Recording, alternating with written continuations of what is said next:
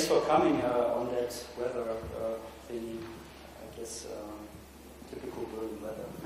um, yeah, I thought like um, just to tap onto what Christoph said. I, I, I thought I share some yeah, learnings I had as an entrepreneur, but most recently I've been quite passionate about what big corporates could learn from those little guys, from the startups, and hopefully I, I, I can share some stuff that is relevant for you. But uh, you don't have to sit here and, and just be patient until it's over. So if, if it's not relevant, or if you have questions, or if it's too fast, too slow, whatever, you can interrupt me. I'm, I'm pretty flexible. So um, that's actually me, and I grew up um, at a tiny village at Lake Constance, um, which is uh, close to Friedrichshafen. And if you grow up there, you're basically, um, you can't escape the story of one particular entrepreneur who is all over uh, Friedrichshafen, who is this guy, uh, who actually had, like, uh, yeah, basically invented this industry. But what's really interesting is the whole entrepreneurial story behind it, and not many people know the whole story, so I, I hope I have something new for you. So what's actually interesting is, first of all, if you see it from a timing context, um, you have to bear in mind that we're talking about very, very early. Um, basically, it was not clear if ever there will be something you know, that could fly. Um, it was absolutely not clear if it's at all possible. And uh, in 1900, um, he was actually able to succeed his very, very first um, takeoff of his first Zeppelin. What's interesting about it is actually um, the stuff behind it. So co-founded, and if you do the calculations, that was a lot of money back then. Like seriously, it was a fortune. Um, in startup terms, it was almost like an MVP.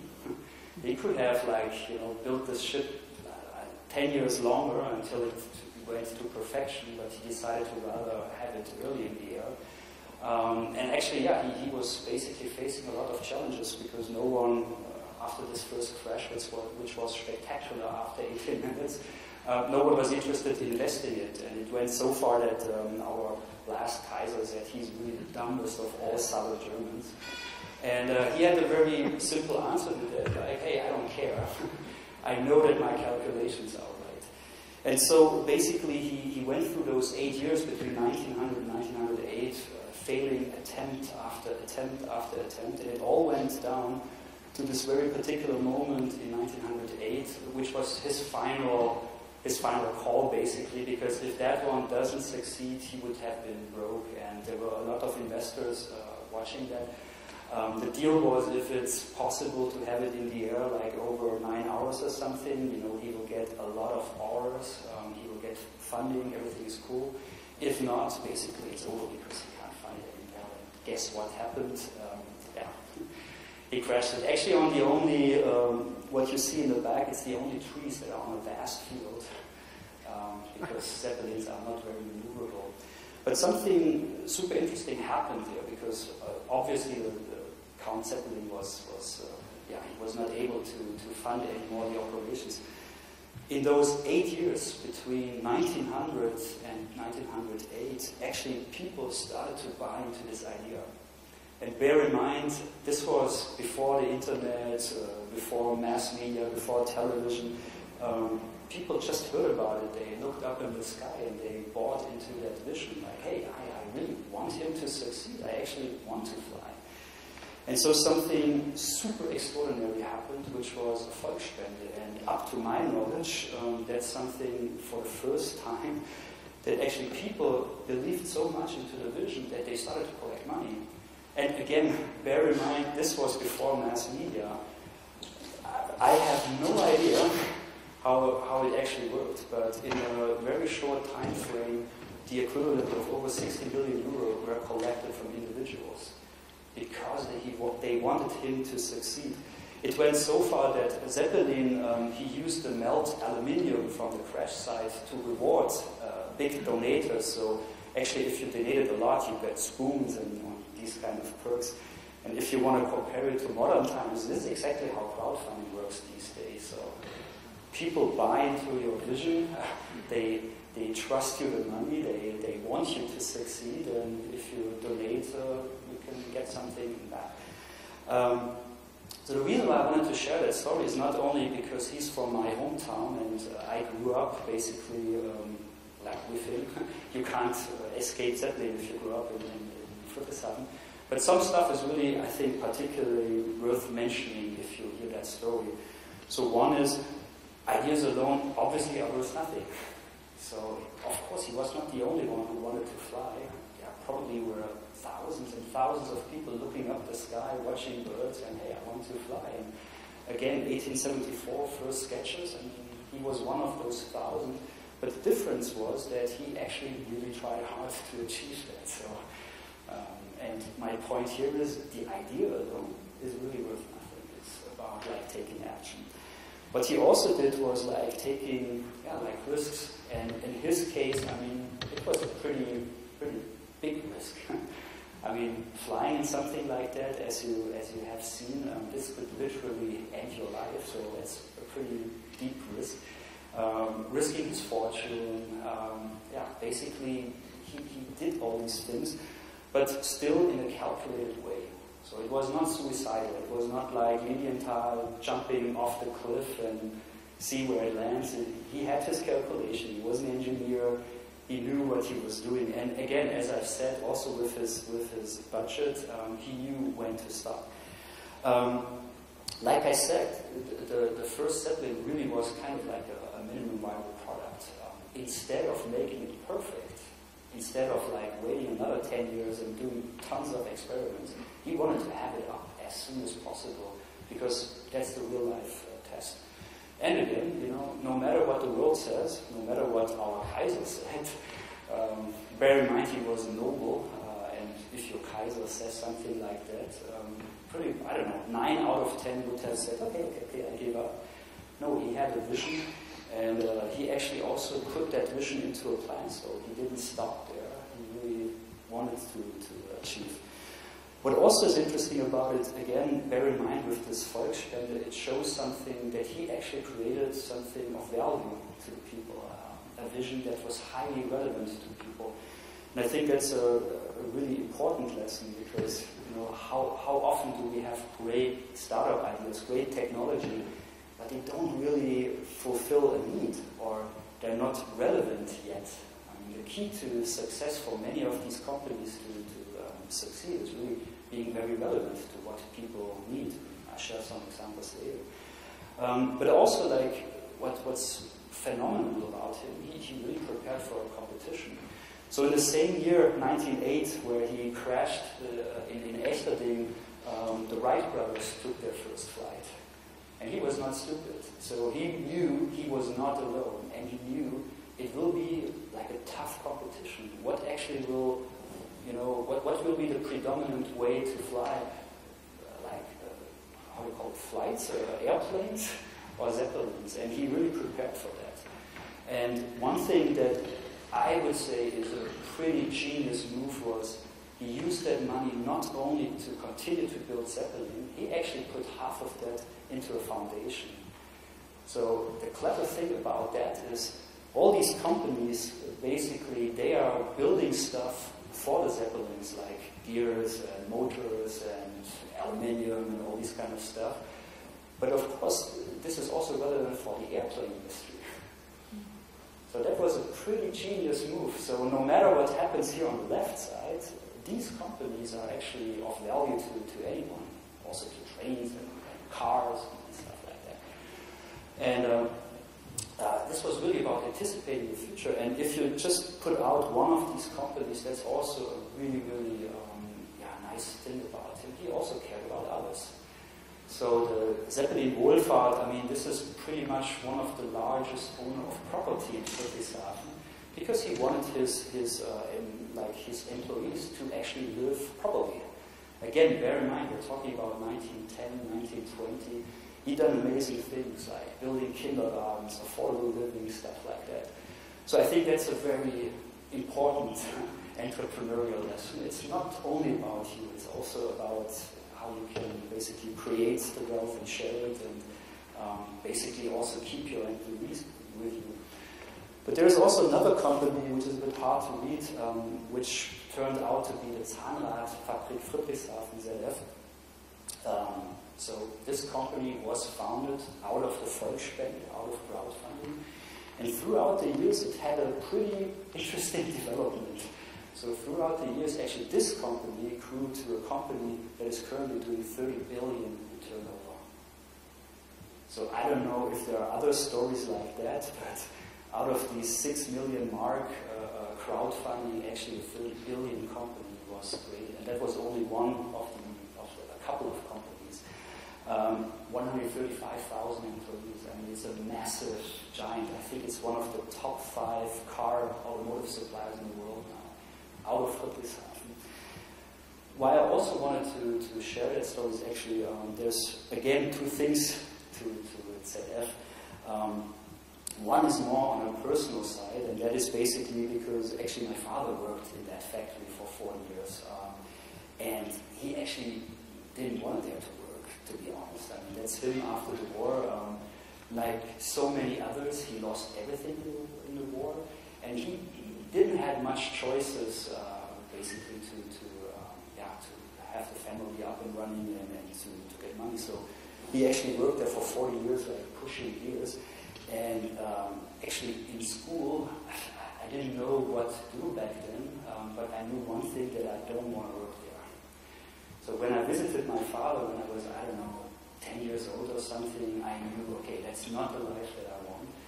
And um, I have to say, ever since, I'm, I'm, quite humble about what I'm doing. So um, if Christoph says on Facebook I'm um, I'm quite social. Yeah, that's um, because every single day I'm quite um, fortunate and happy that, that I have more choices than you have. It makes me very humble, and um, also I really value to have these choices because that, that's not a given to, to his generation or to many uh, currently. Um, I do have to say, um, speaking about entrepreneurship, I'm far from being a born entrepreneur. So I haven't, you know, sold uh, tapes at the schoolyard or lemonade or, you know, built some stuff and, and founded the first company when I was 15. I was far from that. Um, I consider myself more as someone who has like very good instincts, very good gut feeling, very good intuition. So mm, I would say my gift is more like finding relevant trends and, and being passionate about these things. But there's actually, when I, when I when I've done these slides for, for tonight, I was thinking about what was actually holding me back to becoming an entrepreneur. Because I had all these ideas, and the first time I went to a notary and was the first time founder was in 2003. So already, I don't know, 10 years after I started to work. And the main reason why I didn't became an entrepreneur earlier was simply um, the, the fear of failure. And that is something, again, that has to do a lot with, with culture. Um, imagine yourself uh, growing up in South Germany. Um, actually, my mother, um, she was the first entrepreneur in, in, in, the family. She actually had a small uh, barber shop, hairdresser salon. But the reason why I'm telling you this is you need to imagine the way I grew up was that Sundays when we went to church, actually my mother was pointing at like people like, oh, that's the butcher, he, he went bankrupt oh, and he had to fire two people. And for me as a kid, it was like, wow. Or the next Sunday, it was like, oh, and there's the carpenter, and oh, he's not doing well, I heard. And then the next Sunday, it was like, oh, and there's the other uh, haircut, he's not doing well. So for me, you can imagine growing up like every Sunday to hear those stories, for me, failure was not an option. Like, wow, a carpenter, he went bankrupt, he had to fire four people, like four, they're now without jobs. I never want to be in that position. Like, and actually, people are pointing at you, like my mother is pointing at you in church. Like, hey, I don't want to be the guy who walks in somewhere like, oh, he's the guy who failed. So, so that's really was that really was the, the main reason why I why I haven't become really an entrepreneur because of this fear of failure. And um, 2003, when I founded, co-founded my first company, which Christoph mentioned, Ike Mobile, I think what changed has was um, I was old enough to realize one important lesson. Like I was so passionate about mobile, like I just knew that these things that are so small, they will be in our pockets. That was for me crystal clear, and it was also crystal clear for me that this will like be the predominant way to communicate and to do stuff. So for me, there was not anymore an option to wait. so I wanted to do it, and uh, the stuff that I asked myself always was like, hey, what do I have to lose?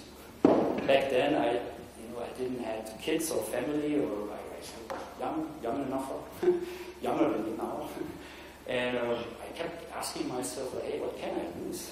And um, I rather, you know, fail than regret and not trying. That was basically my my key lesson that I learned, and, and that's how I became an entrepreneur.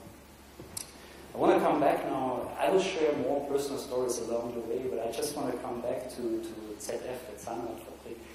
Because as I told you, I mean, this is a company like massive, like, you know, workforce of over 100,000 people and producing pretty old school stuff.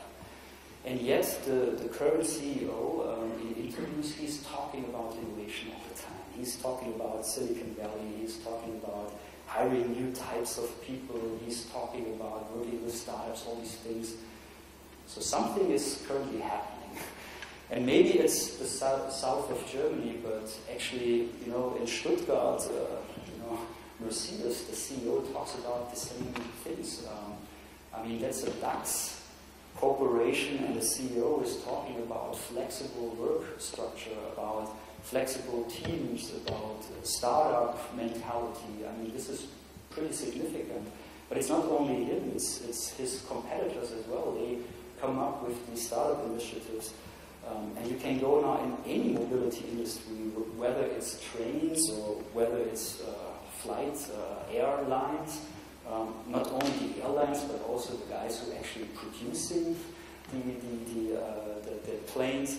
Um, you can go into e-commerce, you can go basically in corporate incubation for, for large e-commerce, you can go into pharmaceutical. So these are all corporate initiatives to work with startups. Um, consumer, consumer products, uh, insurance, insurtech, um, credit card companies, fintech. I mean, you get the you get the idea. I could go on for an hour just showing you all these activities.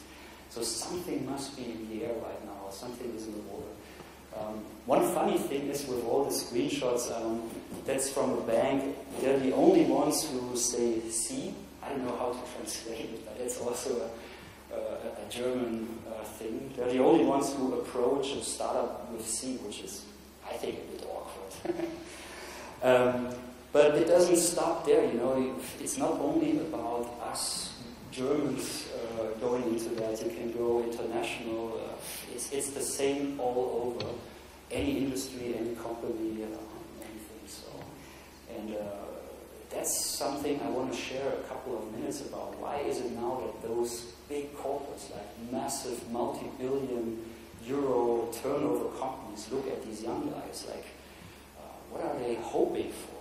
And, and part of the answer are two things. One, clearly around innovation. The other, speed. I mean, this, this simple comparison always like comparing us as being the, the, the slow, big ship com compared to the speedboat. So something must be about that. Coming back now to, to a bank, I mean, if you take if you take this as an example, and if you just take Wells Fargo as a typical bank with typical bank products, I mean, this is the case right now. Like all these arrows are basically companies that are doing something that is in your space. I, think it's over 70 of those. And you can do the same picture for, for other industries. Um, none of these are doing the entire value chain or the entire scope, but they're doing something particularly right and sometimes better than the incumbent. Um, and the speed is just like accelerating like, like hellfire if you you know, if you would have told me that the fastest growing credit companies, I mean, we're talking about close to, to $20 billion that have been given by, by peer-to-peer. So these platforms, they don't even have real assets. They don't even own the money. They're just platforms. Um, think about technology. I'm just staying with fintech for a second, but think about technology like blockchain. Who has looked into blockchain here? Yeah, some okay, you all have to look into it. Would you agree? It's, uh, it's, it's, it will really fundamentally bring change to a lot of industries, uh, especially, especially the, the finance industries, because it takes, you know, there is no need for an intermediary. So I don't want to go into detail here because it would take probably another hour to, to talk about the blockchain, but you know, just in a nutshell for you to understand why I'm so passionate about this is usually in, in finance you need an intermediary like I'm wiring money to Christoph and you know I do it on my bank and my bank says like yeah he has the money and then my bank is like talking to his bank server and then after I don't know when he will get the money. Um, and we use these banks as intermediaries taking care that I actually do own the money and that I don't do it every time without actually having it and, multiple times. With blockchain, the intelligence is in the network. Like, you don't need the intermediary. The, the minute with blockchain, I, I would give uh, Christoph the money and it would be there and the whole network knows it. And it's absolutely like, I, I don't see a way to actually um, tamper with it because it uses the highest form of cryptography um, and the whole, like the whole network knows about this instant. So there is no way for me to actually um, change it or, or, or, fake it or something. So look into it. It's definitely worth into it. But to cut a long story short, that is just like one thing that's happening in fintech where these big companies need to do something. But it doesn't end there with technology. So of course, uh, Google, Amazon, Facebook, uh, Apple, the, the uh, big four, the four horsemen, the GAFA, I mean, they're going not only into your industry, they're going into every industry. Um, in the capital markets, you almost have like infinite supply of capital. Right now, we have 155 billion dollar companies um, valued by private investors, so those are non-private companies. And again, there is some extremely weird stuff happening. I mean, for me being German, that's a that's a tough count. And it shows you that there is something fundamentally currently changing. Um, also, if you take a look at when they actually achieve the evaluation, you see the absolutely fast, the, the acceleration that we have right now. Because of all the, the factors of available fundings uh, um, and tons of other stuff. So to cut again a long story short, basically in such an environment, I would say to do nothing is not an option. So that's why all these guys, where I showed you the screenshots, why they have to do something around speed, around innovation, because in such an environment, you know, to simply do nothing is absolutely not an option. And uh, what I guess we all need to uh, understand is that it's actually not stopping now, we're actually part of this really accelerating growth. It's, it's really exponential times right now. And that's a topic that I'm really passionate about right now because I would say most of us underestimate the, the, the power of this exponential stuff. So just to give you a very stupid example, what I mean with exponential, if I take like 30 linear steps, like 1 meter, 2 meter, 3 meter, I don't know, 30 meters is probably the length of this hallway. It's like the outside material. It's pretty straightforward. Do you have a guess if I do 30 uh, incremental steps like one, two, four, eight exponential steps, how where I would end up. Moon. Yeah. So it's 26 times around the world actually. It's a billion. Uh, it's a it's a billion years. So that shows you it, it starts very very slow and then actually it, it surprises us. And there is this amazing story that you know it all, but it just brings it to to uh, yeah, a very, very interesting account. So most of you know that story. So when the inventor of chess was asked what he wants to uh, get from the from the treasure chamber, he just says, yeah, you know, I just want rice, uh, just double it every field, everyone thinks he's stupid. Like, why? I mean, you can have jewelry, you can have gold, and you just take whatever you can carry, but why this? This is the point. Like, um, it just gets into these absurd numbers um, when you're actually on the second half of the chessboard, um, basically the whole value is more than the entire uh, first half. And the final number is a number I don't even know how to pronounce. It's, it's rise in the form of the Mount Everest, the, the, the height. The reason why I'm telling you this is uh, that I really, really agree with, with people like Kurzweil who say we actually are now on the second half of the chessboard things have changed. They changed dramatically, and the next 10 years will be totally different than the previous 10 years. And that is super important, um, not only as being an entrepreneur, but also being uh, a big corporate, um, to, to make it more tangible, just why I think it's so relevant.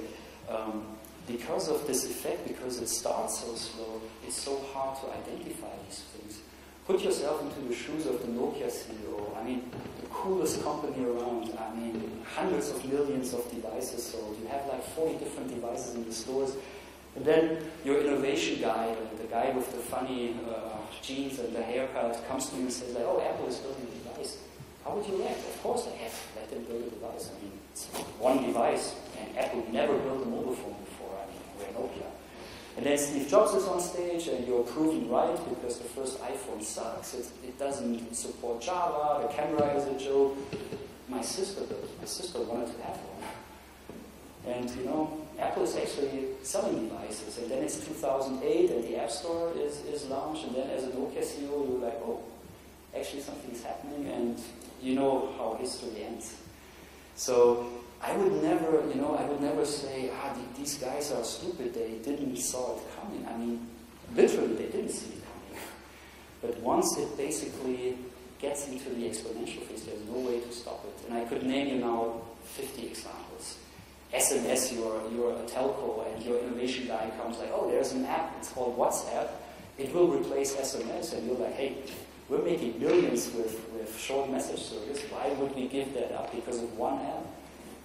Exponential phase, everyone wants to have it, dead. Kodak, I mean, they, they, they earned like really billions with their patents on digital photography. And of course, your, your innovation guy constantly comes to you like, hey, we need to go fully digital. That's how the world turns. But you're still making billions with the analog stuff, and then it's gone. So that's why I'm, I'm really passionate about this because, as I've said, I think we're really into this, this curve now. And I, I just give you some, some hints why it is, because exponential is happening when factors are basically um, accelerating the others. So most of you know that one. Who, who is playing it, actually? Yeah. Uh, which level? 23, baby. Oh, okay. That's, that's really good. That's really worrying. That's worrying. So, the reason, the, you know, something like Pokemon Go couldn't have happened five years ago. I mean, this thing is a phenomenon. I mean, this is Central Park. It looks like an episode from, from Walking Dead. Um, if there is a, you know, if there is like a, if there is like a rare uh, Pokemon, people chase it like a mob. Um, they, they stop the car, they keep running. So it's it's like a global phenomenon. And uh, you have any idea how much revenue? I mean, it's a free game. How much revenue they can make with a free game? Any guess?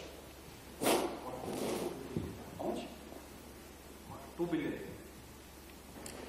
That's the value, huh? But um, actually, real revenue is 10 million, but every single day. Uh, every single day with a free game.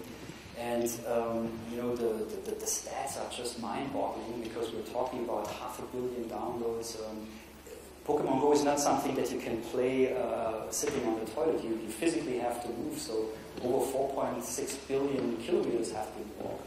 Um, the first guy who actually chased all 151 Pokemons, he went 157 miles or something um, to chase them all. And he lost 10 kilograms of weight doing so. So it's almost like a fitness app. How, how do they do their money? Uh, with in-app purchases. So you, for instance, pay that you get like additional. You, you can buy like grenades to like um, fog grenades to attract uh, Pokemon, which is I'll tell you in, in a bit like an interesting story about that. But my point is, this game was launched 6th of July, and you, you mentioned the, the valuation. We're talking about a billion dollar company that has not been around four months ago. So acceleration. Why is that possible? Because now, I'm talking about 2016 now, because now we have app stores worldwide, I don't know, 120 countries. Uh, we have flat rates, we have great devices, we have millennials, we have you know all these kind of stuff that are basically accelerating each other, and then you can create something like that, and it's like, it's, it's accelerating. Millennials, that is like one thing that most, I would say most corporates underestimate. Um, these are part of this acceleration because they will do things differently. I mean, this is a live baseball game, by the way. It's not like that they are bored because it's a break. There is something happening in front of them. But as you can see, they, they have, you know, they're different than, than us. And why is that important? Because of course they will do things differently, like the traditional linear model that we all used to grow up. I mean, this will be completely disrupted. I don't see any way that they basically will sit and wait until the commercial break. This, this for them, this is gone. And Generation Z is on a completely different level then. Um, what looks like, I don't know, people lining up for Justin Bieber concert. Uh, this is in Katowice, uh, Poland. It's 40,000 people going to see esports. I don't know if you've seen one event. I mean, this is crazy. I mean, uh, these guys actually, for them, seeing people playing Counter Strike or Dota on stage is their preferred way of entertainment. For them, they are literally rock stars. And this is something, especially esports, I would say most, you know, most big media companies, corporates, they, they don't even get this trend right now. It's somewhere happening, uh, you know, besides their, their radar. Um, and because of these things, because of these millennials, they have totally different role models. So you, you all know the influencers, the YouTubers, etc. When, when Variety magazine actually asked millennials, who are your favorite stars, the first one I knew was this guy. I don't know about you guys, but you know, it, it's on number seven. Uh, this guy, 26 year old from Sweden, like 48 million YouTube subscribers, billions of views. I mean, these, these are completely new role models they, they look up to. And, uh, you know, if, if Snapchat is introducing uh, sunglasses to broadcast your entire life, that's not a joke. You can buy them for $129. They will buy it. They want to share their entire uh, life. They actually want to record it. Speaking about these spectacles, I'm old school. I don't want to walk around like this because I guess I, I really stupid in that. But you know, bear in mind this is 2012 technology, so of course it's it, it's big. But you know, Moore's law, miniaturization, it will end up in form factors like this, and I just will put them into my eye, and I will see things that you can't see. This will be natural development of technology that, that will be in front of us. Um, and the stuff will not only get cheaper and, and, and smaller, um, it also will create completely new ways to, to create products. I mean, this is a full-fledged PC on the size of a button. And as you can imagine, it will just get smaller. So I grew up with Hitchhiker's Guide to the Galaxy, and the Babelfish was my favorite invention of all times. Having this little fish in your ear that is simultaneously translating any language. Well, guess what? There's an app for that now. So uh, you will have hearables that you can put into your ear and in real time, uh, actually it will translate any language. Uh, so this one is actually live translating French to, to, to, English.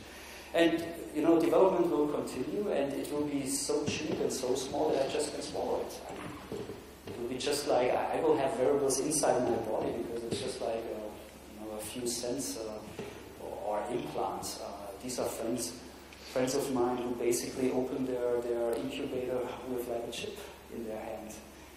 Um, holograms will be totally uh, um, um, normal. Um, and it will be like, you know, in communication terms, it will be totally normal to do that, as will this.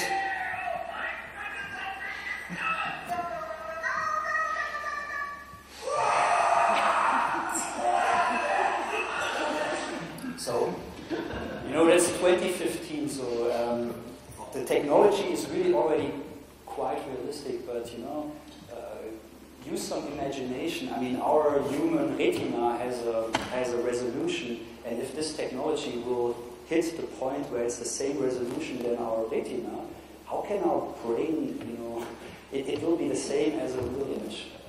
The only way to differentiate is by, I don't know, smells and wind and other factors, but for the retina, for our brain, it will be the same resolution. I could go on and on and on, but I don't want to bore you because, like, you know, social will not stop with 1.7 billion active users. as will Internet of Things will not stop to connect anything like us with cars or cars among each other or us with devices. What's so special about something like Amazon uh, Echo, for instance, is do you see an interface? There is no interface. I'm, I'm, I'm using my voice and I actually have it at home. It's, it's now part somehow of the family. Just talk to Alexa, like, hey, what's the weather? Or change radio station or set up the alarm or something. So this will become quite natural. And one amazing figure about Amazon is that right now almost half of the US population is in 20 mile range to a warehouse, to a, to a fulfillment node. We're talking about the US of A. We're not only talking about East Coast, West Coast, we're talking about Flagstaff, Arizona, and Vermont, and all these things I don't know in the middle um, having something close by in 20 miles. So that means if you have something like, uh, you know, like the Dash, you can have same-day delivery. So toilet paper is out, you hit the button, and a few, a few hours later you will have it. Uh, you're missing some groceries, you will get it. So these things are happening. Um, robotics, of course, you know, robotics was always like, you know, super complicated, but uh, we're, we're now entering the stage where these things are getting really, really, really smart. And if you combine, for instance, the advances in, advances in robotics with the advances in like facial expressions, I mean, uh, this is in, from Hong Kong, uh, 42 motors, facial motors, I mean, creating any mimic. If you combine these two things with a third thing, which is artificial intelligence, something extraordinary is happening. I don't know if you, if you few realize what happened this, this year was with um, the Go, like when the Go world champion was, was beaten by, by Wu, that was a milestone. What you just saw basically was um, in chess, you have 20 different moves with every move, uh, or 20 different uh, possibilities. So you do a move, you have 20 different possibilities as next.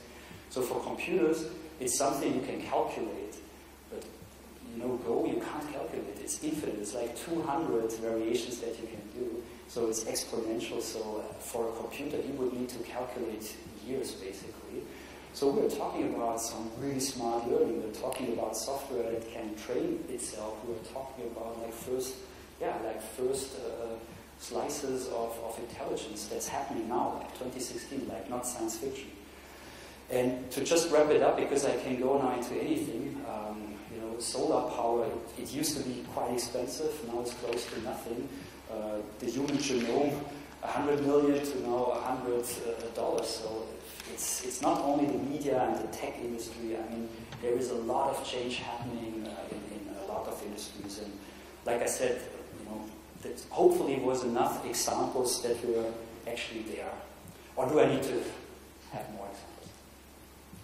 Can we agree? Um, and again, the reason why I'm passionate about it is because like, we need to realize that we're basically there and uh, we need to accept it that we're in this, uh, in this times. Um, so there's some choices for you guys. So who wants to become an, an entrepreneur? Now is a really good time. As has been last year, as will be next year, but you know there will be enough of ideas uh, why you should do it. And if you're a, a big corporate, now is really the time to to get started to become faster and more innovative and to team up with, with startups and, and yeah, basically learn from, from these guys. So I want to actually uh, close with some yeah, observations I did how the big guys could actually benefit from these small and innovative guys uh, because I'm strongly believe that you can do actually learn from these guys.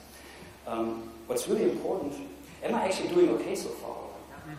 Well, you, you, you say stop or you interrupt me if it's all good? Super. Um, so one thing that's really uh, um, yeah, important to mention because like the whole world is talking about startups, startups, startups, entrepreneurs. Huh? It's not like that they're geniuses, right? It's not like that they went to Hogwarts and had a diploma, master, PhD in genius things. Um, startups do different. Uh, startups act differently or behave differently because of very normal, uh, because of very simple reasons. Um, for instance, failing because of money, lack of money. So what I mean with that is, put yourself into a shoe of a, of a first-time founder who has business angel money, like I don't know, 200,000 euro on your bank account. Of course, you have you have the bank account account in front of you, and you know that you will like not succeed if you will burn through all this cash. So that actually forces you, for instance, in product development, to think about totally new ways to, to create your product because you know if I continue producing like this, if the app takes another three months to launch, I will run out of money. So that's why actually startups had to come up with something like the minimum viable product. There's absolutely, absolutely no way to make a perfect product in the time and the money that you have. And what's so cool about actually the, the minimum viable product is because it's just right between launching too early, that would be like uh, something that you're not proud of. But also before like launching too late. And I think this is like a nice visualization of what is meant by that. Um, because the, the, the, usual corporate way of making it perfect is by going very linear. So you have the tires, you have the chassis, and then you have the car. But along the way, you don't see much. It's not really, it's not really a car, right? It's, it's more disappointing until the very end. But with a different mindset, with the mindset of an MVP, you actually start thinking about, hey, a skateboard is quite cool. You know, use the skateboard, and then you put some handles on, and you have a, a bicycle, and actually, a motorbike is already really cool until you get this. Um, this is not an MVP, and this is usually how you know most of us, like even myself, also startups. You know, if you're in a brainstorming uh, if you're passionate, this is usually how we end up. We, we want to have it all in there. But the trick is to define the MVP. This is the MVP, this is not. And this is something um, what a, a, corporate, a corporate or anyone could really learn from startups, like this ability to really scale down. What's the essence? What's really applicable to me? And I give you one example that even a big corporate like a DAX concern could, could work like this, and this is Lufthansa. So um, what they did here with their innovation hub is a concierge service, and the MVP here was an SMS. So you were texting someone like, "Hey, where's the best pizza in town?" And someone was looking up Google and sent you back an SMS. So you basically use the human intelligence of someone sitting in front of, a, of Google. That's an MVP. Just seeing are people trying the service? What, what kind of questions do they have? And uh, it's now a full-fledged product with, with Facebook Messenger, bot integration, stuff like that, but it started really uh, as an MVP. If you have the definition of an MVP, of course, it's then how about rapidly to have it in the market or have something to, to show, and, and then we're uh, about rapid prototyping. And uh, of course, you know, you have your vision in mind, you want to go there, but you know, there are ways to get there. And um, I think it, it's, it's hilarious that often people underestimate the power to just have a piece of paper and you know just talk to people. Just see with a few folks how they would react if they like the naming, if they like the labels, what they would expect if they click something. You know, there is not one line of code required to have like first customer insights, even with a scribble with, with paper. Of course, you can use tools and can make it like really look good. Um, when we did the, the, the Vogue iPad app, we were um, just using Keynote, like presentation, um, to, to test it, and we gave people uh, the iPad with Keynote, and it looked like an app, but it was in fact a presentation. It gave us feedback without one line of code. Um, there's crowd, crowd innovation platforms now where you can have like uh, an MVP up there. We, we did a project for, uh, for FinTech, we, for a new banking concept. 4,000 people gave us feedback on that site, and it was really valuable for us to modify the concept. Um, um, I'm a big fan of hackathons because with hackathons, you know, it's you know you, you use the intelligence and the smartness of, of coders to work on really rapid stuff like um, what we did here was a, was a hackathon around Facebook Messenger, and you know, within one weekend, like maybe 36 hours, no, not even 24 hours, we generated 10 working prototypes on mobile phone. So I'm not talking about PowerPoint, consultants giving you a paper like, look, this is a concept. I'm talking about 10 running prototypes on mobile phone in 24 hours. And of course, that brings me to the next point. If I have something to show, I can get really valuable insight from the customer. And like I said, it's not something where you need uh, GFK or spend 200,000 for you know calling 10,000 people and asking them. It's, it's you know you can go to Hackescher Markt and ask five people if, if they want to share a coffee with you and you, you show them stuff. I'm a big fan of like you know going along the, the, the customer journey, like really thinking about what are individual steps for a customer. And I give you a, a really yeah, like a straightforward example. So this is something we did um, with eBay, and what you see here on the top is what is a, a, normal way for someone to buy something on eBay. In this case, it was like a sneaker. And uh, so these are the yellow post-its up there, and all these post-its, uh, uh like the uh, above, no, not different, below. Thank you. all these post-its below um, are individual ideas how you can improve it.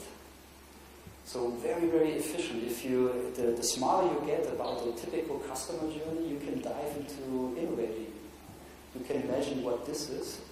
Uh, this is like waiting. So you bought something and you just want to have it and waiting for it, and then this shitty package arrives because someone just you know put some junk into it and ships it to you. So tons of ideas how we can do it better. What's really important is, of course, like having the customer always in mind. This is something that startups really had to learn. Why? Again, because if they create a service, if they use all their cash they have, if they launch it and it's not relevant, again, dead, you failed. So it's in your DNA to be as customer centric as possible, and there's tons of methodologies, whether it's design thinking or, or whatever you want to use. In the in the core, it's always about like understanding as good as possible what, what the customer actually needs, but also it's agile, it's iterative, it's, uh, it's not stopping. So once you have something, once you tested it, improve it, and back again, start from scratch. So this is something really important. It's not uh, something linear. And you can go again into any industries. There is room for uh, innovation and improvement. So you know, if you just look on Lufthansa, how they constantly try to, to innovate and to make a better service, like that I get my calendar entries for my flight, uh, that I actually receive uh, before the flight all this information about the weather and public holidays and my, you know, where do I get my baggage and all this kind of stuff. I mean, there's so much you can innovate around a, a customer journey, and they're constantly trying to do so. Um, and this is Air France. So you can imagine what I would like to fly more often. This is, by the way, not a joke. This is how Air France looks like from experience compared to that one.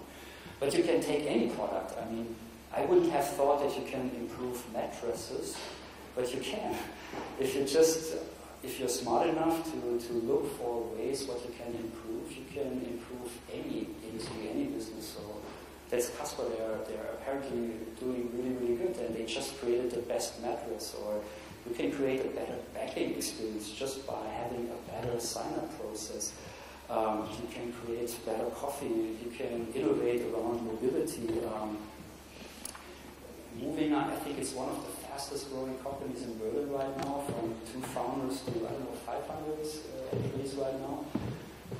Why? Because they realize there is like there is a real life problem which is moving. I mean, every one of us moved one day, and everyone, I would say, agrees it's shitty. It's a, it's not something nice to do. And so my point there is, I think some of the smartest ideas and some of the most successful ideas are actually born around solving these real life problems. And if you listen to many um, founder stories, how they actually came up with the idea, often it's exactly that. That they're waiting for a taxi, it's not showing up, oh, I should have an app for that. Uh, you want to move, it's expensive, it's a shitty experience, oh, I can innovate around moving. So look at real life problems and, and you have tons of stuff to innovate. And it's, you know, it's never too late. So if you would have told me that you can improve communication, my first reaction would have been, yeah, sure, always. Communication can always improve. But I don't, there's so much technology out there. I mean, Slack, it's amazing. Our entire company shifted emails to there. To, it. you know, we're not, we, we don't even use mail service anymore internally. It's all within Slack. They're, they basically innovated around team communication, and they didn't stop there. So once they realized there is so much more functionalities that are required, they introduced APIs and bots, and now basically other companies can innovate on that platform. So basically, Slack has now this platform for others to innovate. now, working with the customers with rapid prototyping, you have all these ideas, and of course, it's, it's a question of how can you how can you have it then fast in the market and there where, where Agile comes in. And hopefully, most of you know about Scrum and Agile. Um, but um, yeah, it's basically, I would say most of projects can be done like that. I can't think of many projects. Maybe if you're doing the back end of a banking server, use the, the old stuff. But most of the stuff can be done in Agile, Scrum, etc. Um, it generates, and I'm talking in corporate environment, by, by the way. Um, for corporates, it also creates a lot of transparency because you know these things is something you can put on the wall. Uh, for some clients, we, we introduce such boards on the wall, and all of a sudden, the whole entire team knows what's going on. All of a sudden, the CEO can walk by, and she realizes, oh, we've achieved a lot, or, or she realizes, oh, there's actually a lot of things still to do, and it's a small team, and it, it makes it very, very visible. And what's also really important about Agile is you don't have to be that precise in describing something. That is often totally enough that's one big learning that, that we made as, as, as consultants. Um, you know, that's totally enough for, it's good enough for a coder to basically realize something in sprint. You don't need to work three months to have uh, this. And basically, this whole water, waterfall approach, uh, in my eyes, you know, as I've said, for most projects, for most industries, it's not needed anymore. It's just like taking forever and a lot of money and resources, etc brings me to my next point, which is like really being very lean. And, and if you haven't read that book, you have to read it because it, it nicely wraps up all these uh, things that basically we can really learn from, from these startup methodologies like MVP and etc. And it really sums it up in a, in a very nice, I think it's a, it's a genius way to represent it, which is this like build, measure, learn. Because again, it's about this iteration. So again, the idea is worth nothing once you, you know, try as soon as possible to, to implement it, because once you have it, then you get real data. It's not assumptions anymore, it's real data, and you can improve it, you can improve it, and it's a, it's a cycle. And we have a German philosopher that actually nicely wrapped it up. Um, yeah, basically after the game is before the game. So it doesn't it doesn't stop once you launched it. It, it will basically continue and you will force to continue. So Spotify is an amazing example how they're using these kind of uh, things to basically improve their product and take a particular uh, interest in the role of management. So tons of ideas are generated. The management is there to guide. They're not there to like, you know, let's do this. They're not there to dictate. They're there to guide, like, hey, is it actually worth prototyping? And if so, again, management just gives feedback. Like, hey, you know what? Actually, this is good enough to, to basically implement. Um, again, the building phase, like working with a, with a, with a set of users. So Spotify often releases the MVP only with a few, you know, percent of their global user base because they basically, for them, it's good enough data that it's actually worth to implement until to roll it out. See how management plays more role of a guidance this is a very agile approach and an approach that is really working. Still doing good? Yes. Can you, are you still with me? Yes. Good. Um, I can, in German, I'm, I'm faster. I'm sorry that I'm so slow in English. Um, I actually wanted to be finished by now, but uh, if you bear with me a few minutes, I try to wrap it up and I try to speak faster. Damn. Of course, with MVPs, of course, with launching it, of course, with build, measure, learn, it's about the data. It's really about getting these insights, and as stupid as it sounds, a data strategy is needed. and uh, I know it sounds really boring and, and naive, but um, I see most, you know, a lot of companies fail at having a, a real data strategy where to get the data from, and then they have the data, but what, what are you doing with the data? Uh, what can you actually improve? Or one very particular thing is, and, and someone very smart from the gaming industry told that once, um, she actually said like, I had then all this data, like every day I had like the dashboard with all the data, but then I realized that only a few of these data points I, I as the individual can actually steer, can I actually um, modulate, can I actually improve. So that's, that's something very um, important. Like, uh, so with many clients we see that they have all this data available, but uh, it's actually to find out which data you can actually improve, which is the, the most relevant data, what do you actually can uh, yeah, work with. And the other thing about data is why I love it so much is because we're all concept being innovative is it's first it's always assumptions. So if Christoph and I share a bottle of wine tonight, we will have a great idea, no doubt about it. It will be a genius startup idea, but it's an assumption. Only once it's out in the market, only once people are using it, an assumption becomes an observation, then it's, it's basically proven if it's a good idea. And startups are very creative around how to how to get the first feedback from the market. So you know, even without a product, you can launch a sign-up page. So um, uh, I once had a, a, meeting with a VC, and I was a business angel in a, in a fintech company around credit cards and stuff like that. And we were talking to the VC, like, yeah, and I think in like three months we will have the credit card implementation, then we can launch. And the VC was like why? Why are you not launching now just a sign-up page? Why are you not faking it and like, you know, try to have people make a, a just see what's happening. Uh, if the payment doesn't work, then you say like, oh, we, we can't do it right now, whatever. You know, just try as soon as possible to have first insight. Um, you can use like Google Ads, AdWords to just try like you know different banners and see whether people are clicking on the service or Facebook ads and just see you know are people interested. You can try different price points. I can I don't know I can I can sell this camera on Facebook ads, ninety nine dollars, two hundred ninety nine, and just see how many people will click what and where's the average price point. And these things are all possible again just by tweaking it. Uh, without changing a lot. And of course, you can measure the hell out of, of uh, everything. Multiple variables. Uh, I mean, Netflix is an amazing example. Like you really, really see what works and what works best, and basically finding out, you know, what is, you know, what works best, and then building on it, and constantly um, improving it. So this fail fast, fail often. I mean, there is something, something true about this. Now you also need to face that, um, yeah, maybe sometimes you need to change, you need to be brave.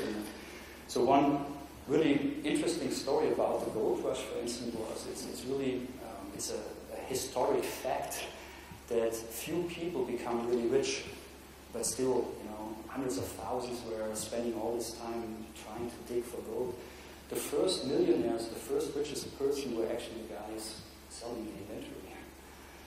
And this is a this is a pivot. So you know you are working your ass off trying to find gold until you realize I don't know. I'm here with hundreds of others in this water, and I don't see any chance. I should sell, you know, blue jeans, as Strauss did, or I should have a, a restaurant or a hotel or a brothel or whatever.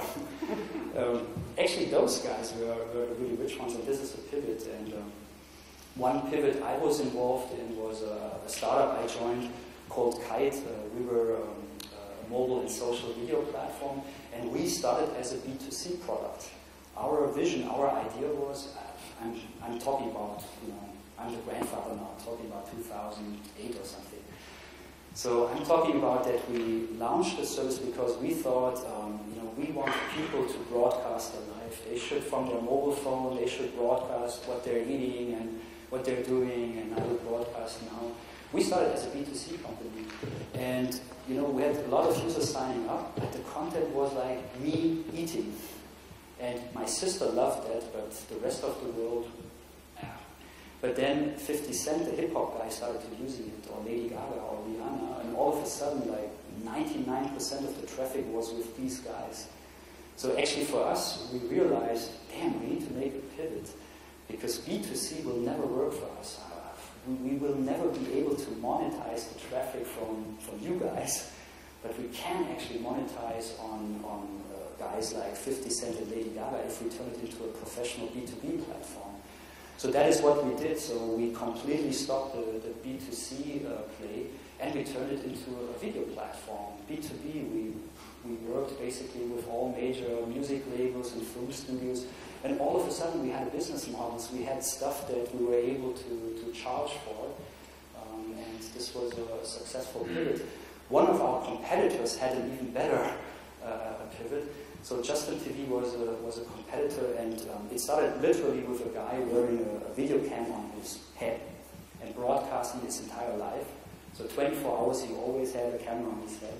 Of course, again, this was funny at the beginning, but then, yeah, not so funny anymore.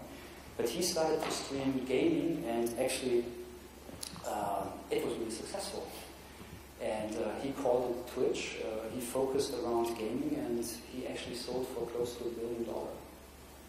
With a pivot from me broadcasting B2C my life to, hey, I have a platform for streaming gaming.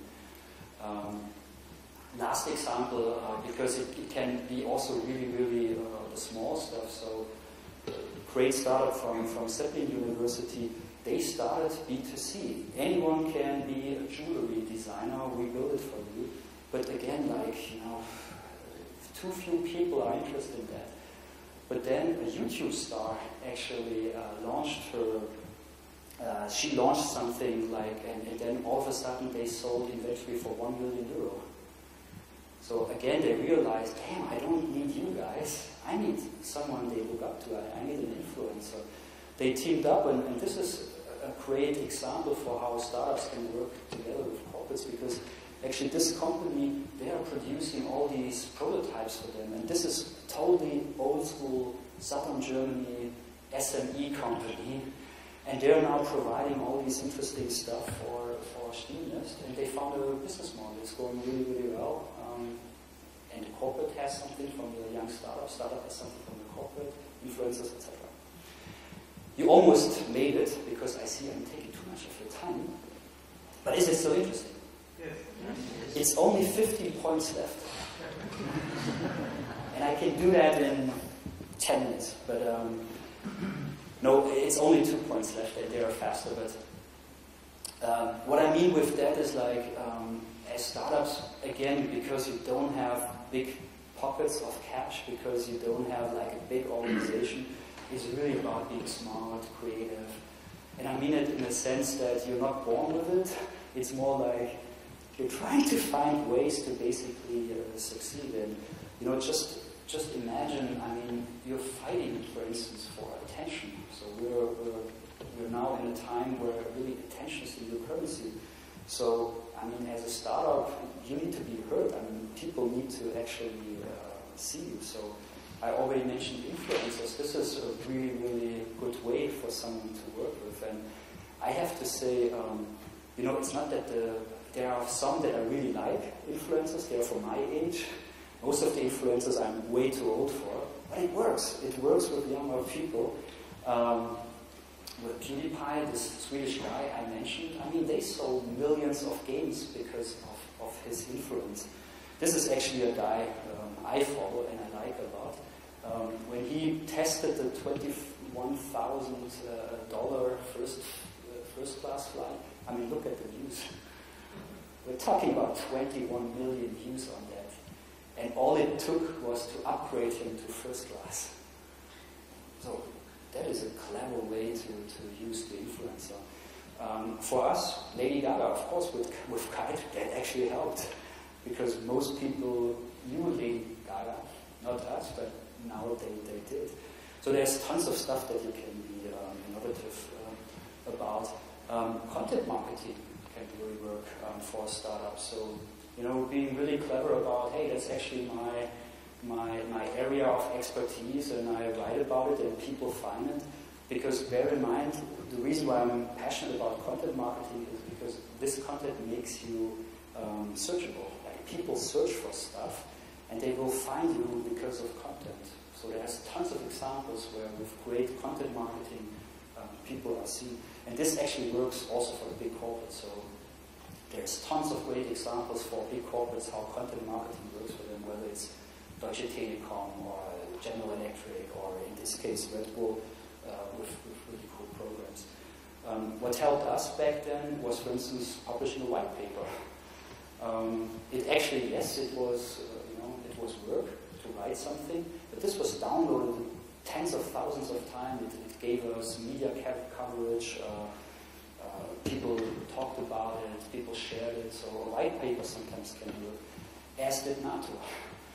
So believe it or not, um, when I was when I was you know working for Kyte, like a typical German question that I get got was like, oh, where are the servers? How secure is it? Who owns the content? Is it safe? Like all these questions that I you know I can understand. Once we had NATO as a client, you know, done, no more questions. So any CTO of any company could have asked me like, hey, how secure are your servers? And I was just like, ah, I can give you a contact at NATO.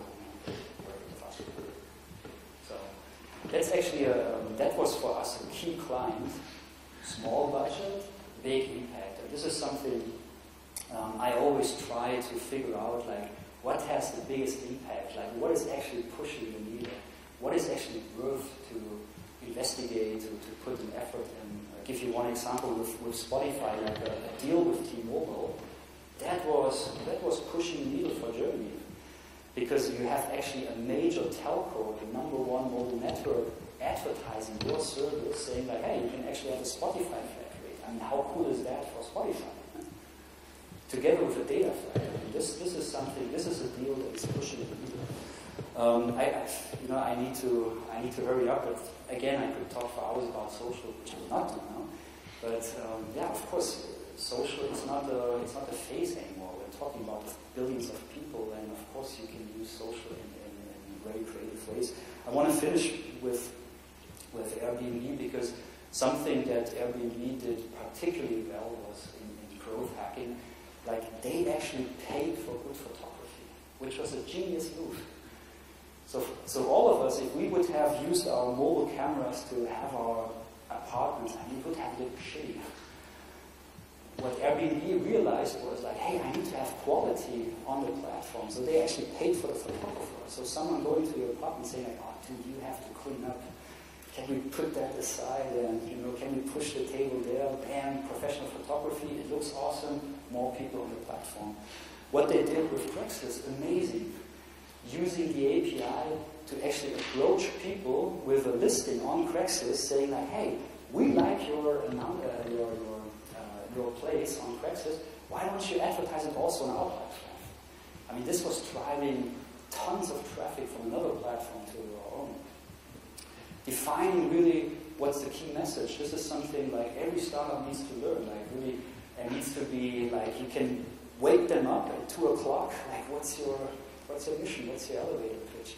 Um, when I was visiting Y Combinator, which is probably one of the well, probably the best accelerator in the world, I was talking to one startup and said, like, hey, can you wrap it up? What's the what's the secret behind the Y Combinator program? Like, what did you? What was the most amazing thing that you got out? And besides mentoring, he actually said, like, you know what? This elevator pitch training. Every single week, I was pitching to people after people after people. So you know, it really forced me. It forced me to become so precise, to be so focused. That was actually what I got out of Y Combinator, as stupid as it sounds. And as a corporate, you can do that exercise as well. If you think about a new product or a new division or a new idea, ask yourself, what would be my? If this would be an app, if I would need to upload it to Apple App Store, what would I need? What, what would I write there? What is it? And make it, again, very relevant. Um, again, something like that can't be stressed too much because there is so much stuff out there that needs to be relevant. Um, I mean, if Tesla calls a button ludicrous mode, this is basically out of genius to think about what's worth shareable. Um, know, Volkswagen has a similar button. It's called the Fahrerlebnisschalter. It's the same thing. You, you hit it, you have more horsepower. You know, to have the, the guts to call it ludicrous mode, know, people will talk about it. They will share it on YouTube. They will share it on, on Facebook, etc. The bioweapon defense button. Come on.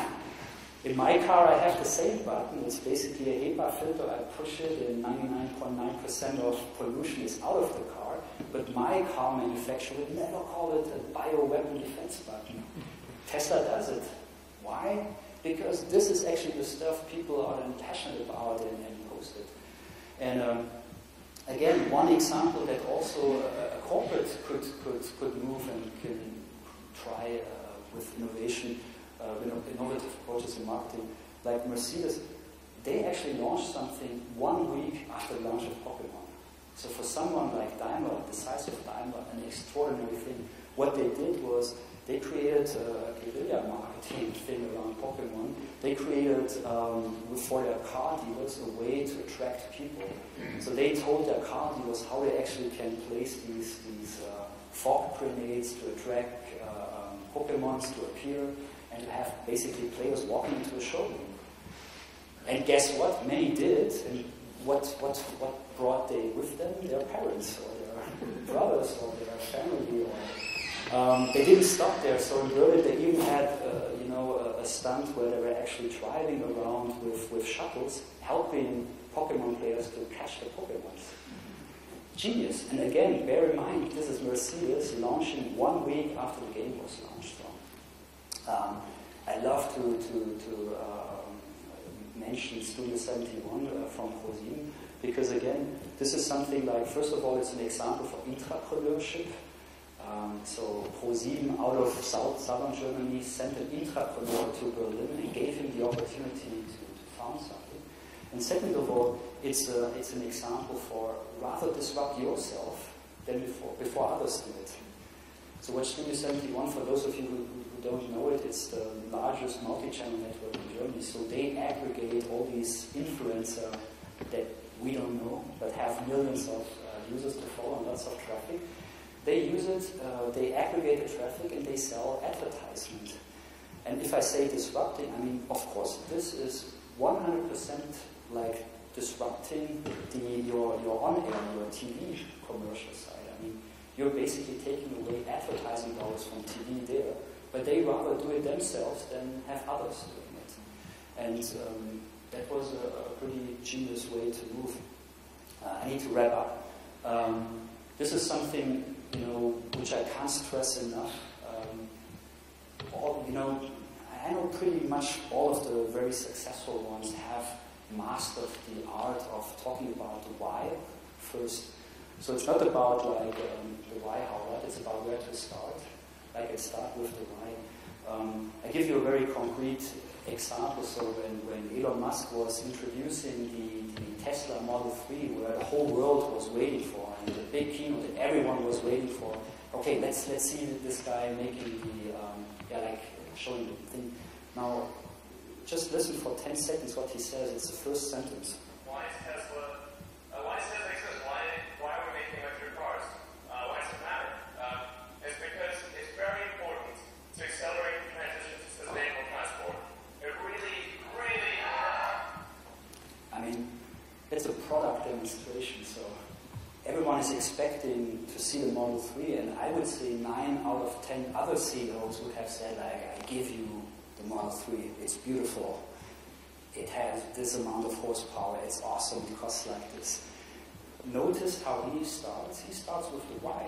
Like, why do we do this? And, and this is really what makes so many companies so successful because they don't start with the, what they're doing, they really start messaging why they're actually doing it, which is a way more compelling story.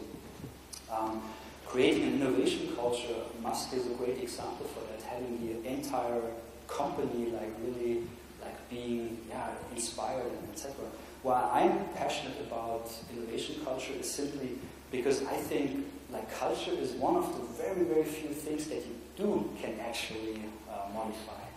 So there's so much stuff that you can't, you know, can't change, can't modify. I mean, you can't force the market to love your product. You can't force the competition to not be competitive. But culture, that's one of the few things you do have in hands and, and, and can uh, yeah, do something about it. Often it's simply stuff like interior design, or, or like the room. I, I used to have a very fancy title, head of innovation, um, but how can you be innovative in an office like this?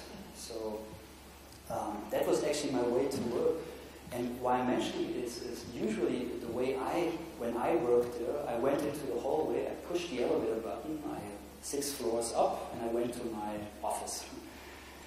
What the new CEO implemented was a coffee in the, in the first floor.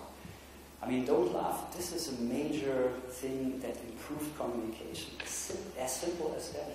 Because all of a sudden, people are not just walking by to the elevator, pushing the button, going to the office. All of a sudden, people grabbing a coffee, and the guy from Popstar is talking to the, to the, to the girl from Top Model, to advertising, to publishing, to a startup.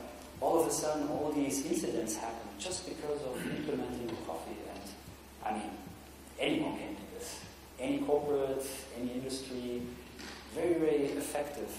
Um, having a place where people really like to go to work is something all of us can achieve. Um, that was always like my my ambition. I always wanted to have a workspace where people like to work at more than at home.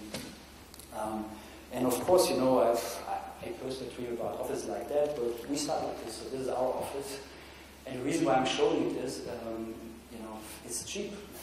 It's like having low budget is not an excuse to put effort into it. Um, that's our meeting room. Um, again, you know, it's very low key, but we're putting effort into it and buying some stuff from eBay, etc. Um, so having low budget is not an excuse to go on eBay or to, you know, talk to someone who has like ideas and to have like an inspiring place, or to be, using stuff that others throw away to, to your advantage, or even involve the teams. So, so Wooga here in Berlin they even gave money to their teams and let them decide what they want to do with it, whether it's plants or gadgets or new tables, new furniture. I mean, you can even involve the team in that. And yeah, I don't want to bore you with all these fancy looking offices. Um, there is actually a cool website where you can just like browse hours to get inspiration. I want to finish that section.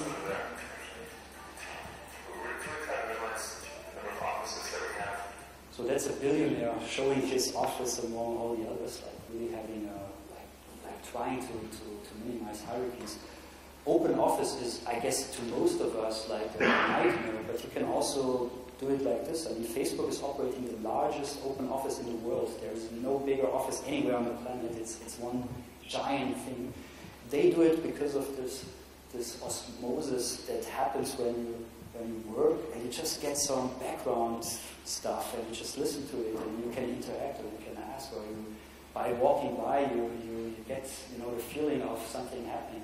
This is very, very efficient. And of course, if you if you have the open space, if you have this, of course, you need to also have the opposite for those who want to, you know, speak privately or have a, phone call, or you can even go low key. So I actually bought that one. It's, it's awesome. You can um, like take a train ride and just put it on and just bounce your head on the, on the table and you just sleep and you just forget about the world around you. Having a project space, you know, where you can actually leave stuff on the table and where you don't need to clean up is, is very powerful. Trying to have stuff that, that makes you very creative. Having um, like a, a, game room where people can play with, with Xbox and Oculus that actually your team or your employees have a notion about what's happening out there. And of course, food. Like uh, even us being a small company, we try to, to cook twice a week and to have the whole team sitting on one large table. And even if you're big, I mean, there is no excuse why you could do things around food. And even if it's like uh, the water hole where you have people to, to uh, yeah, to uh, basically meet. So the reason why Apple is building this amazing building uh, in a round shape is actually they want this, um, these things to happen. They want people to incidentally reach each other by walking uh, in these rounds. And last example, because um, actually Wooga, again, the guys I mentioned, they put also a lot of effort into the offering, so that's their kitchen, um, offering the food, offering the free breakfast, etc. But one thing about Wooga, and with that I want to close, is um, because again, you can talk about hours about what these guys have implemented, but one thing that struck out for me personally, and this is this, um, so this is a big that what they have, and what you see here is actually a post-mortem game. So what that means is basically that this guy is talking about um, his game and what didn't work. And you don't see anyone laughing or like, hey, dude, I told you it's not working, or that was a shitty idea from the beginning. No. It's about really accepting that in games you can't force to have a hit game. You can't construct a hit game. I mean, it's really about using data and, and user insights and all these things I talked about to try to create a good game. But if not, then it's really totally okay to stand in front of your colleagues and basically say, okay, that's it. We, we, we shut down the game. It was painful. This is what we learned. And that's the reason. Uh, remember my, my beginning. That's, that's why I put it as the as the end of um, of the presentation. Because yeah, growing up in southern Germany, I can tell you about the failure culture that we are lacking in, in Germany. And I think it's one of the most important things that you know all of us can can implement in their surroundings, in their company, etc. Because as I said, it's it's totally okay to fail. I mean, if you don't do it on purpose, of course. But like really, if you if you try and if you basically uh, learn out of it. And so as Master Yoda said, basically no excuse that you don't try. So with that, I want to actually finish, and hopefully uh, I convinced you about this one that we are actually in this curve. Hopefully, I convinced you that even as a big guy uh, or as a small guy, you guys can work together. So, thank you.